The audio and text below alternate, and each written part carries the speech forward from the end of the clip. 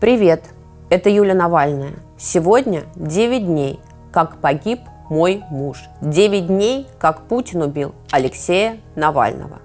Но убийство Путину показалось мало. Теперь он держит в заложниках его тело, издевается над его матерью, заставляет ее согласиться на тайные похороны. Иначе – Иначе только вдумайтесь, они угрожают, что сделают что-то с телом Алексея. С ним что-то случится, потому что, цитирую, «время работает против нас». Они угрожают похоронить его сами, прямо в колонии, где его и убили. Несколько дней маму Алексея буквально мучают. Следователи ей врет, шантажируют и снова врет, обещая, что вот-вот все решится. Только согласитесь, только подпишите. Я прекрасно понимаю, что это все придумал не какой-то там следователь из Салихарда. Всем руководит Путин. Это Владимир Путин, сидя на дальнем конце этой страшной цепочки согласований, спускает приказы. Нет, не отдавайте, давите, давите на мать, сломайте ее, скажите ей, что труп ее сына разлагается – либо они похоронят Навального на моих условиях в дальнем углу неизвестного кладбища, тайно, тихо, чтобы никто, ни один человек не мог с ним проститься, либо я его вообще не отдам. Вот какие условия выдвигает Путин. Тот самый Путин, который любит показывать, что он верующий христианин, на Рождество он фотографируется в церкви со свечкой, стоит один в храме, с проникновенным видом смотрит в пустоту, а журналисты его снимают. Или на крещение. Он в роскошной бежевой дубленке и валенках подходит к проруби в форме креста, а потом окунается в нее, и снова камеры снимают, как истово он чтит Бога. Путин делает вид, что он очень религиозный человек – он целует иконы, прикладывается к мощам Николая Чудотворца. Он регулярно приезжает на Валаам, где причащается и исповедуется в монастыре. Да что там, он в дворцах своих строит личные церкви, чтобы быть поближе к Богу. Путин такой ревностный христианин, что он в Конституцию нашей страны вписал, что предки передали нам веру в Бога. Только невозможно привести людей к вере, если просто написать это в законе. Это можно сделать только если ты сам поступаешь по-христиански.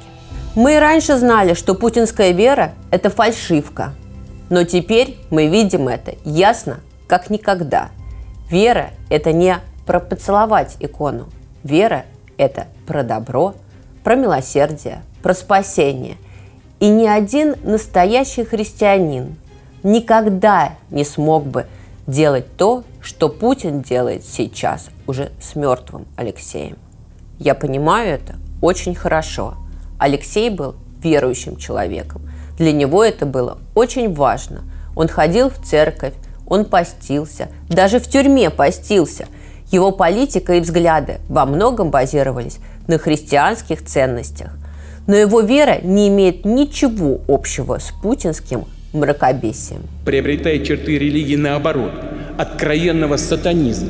Алексей был искренне убежден, что надо быть хорошим человеком и не идти против совести, что Бог – это любовь, что уныние – это грех. Даже в своих письмах из тюрьмы он писал, что не испытывает ненависти к своим мучителям. То, что сейчас делает Путин, вот ненависть. Нет, это даже не ненависть, это какой-то сатанизм, язычество.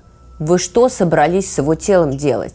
Как низко вы еще упадете, глумясь над убитым вами человеком? Шантаж, угрозы, ультиматумы. Серьезно?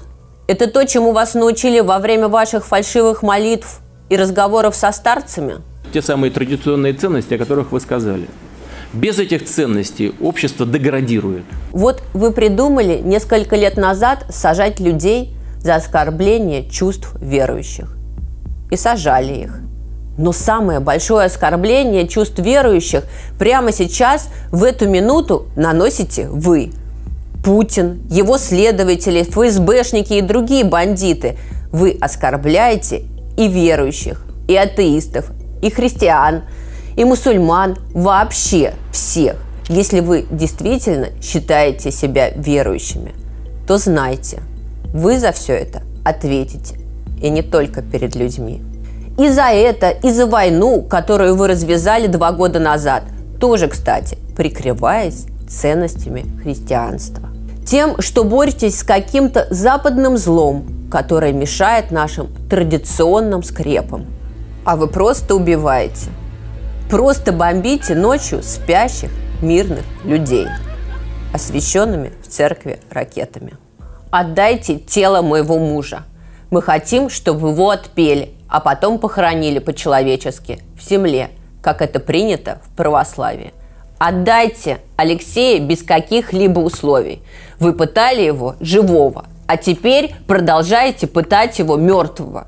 Вы издеваетесь над останками умершего. Невозможно уже придумать больше бесовщины. Вы нарушаете всякий закон. И человеческий, и Божий.